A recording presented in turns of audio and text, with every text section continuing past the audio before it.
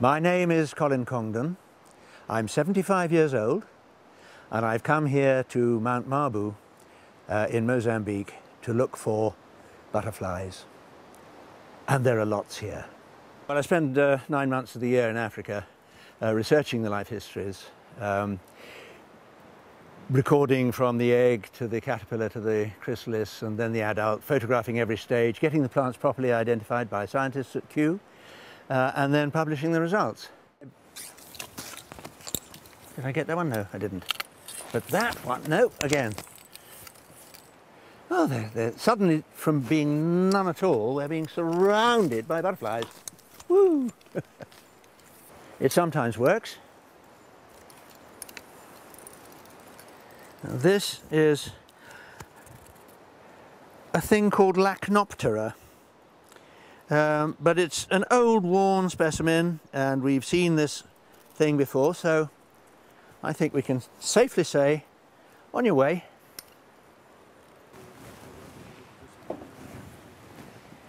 Okay, we find the, the um, eggs and caterpillars in the wild uh, and then we, we uh, put them into a, a semi-airtight box uh, with the food plant. Uh, we keep changing the food plant to make sure it's fresh uh, and um, then eventually the fully grown caterpillar will turn into a chrysalis. Um, and that we put in uh, a separate place so that uh, when the butterfly finally emerges, it can expand its wings and dry and become the perfect specimen.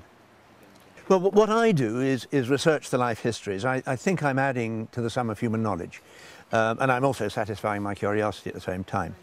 Um, I think that ordinary butterfly collectors, if butterfly collectors are ordinary, um, are not much different from stamp collectors.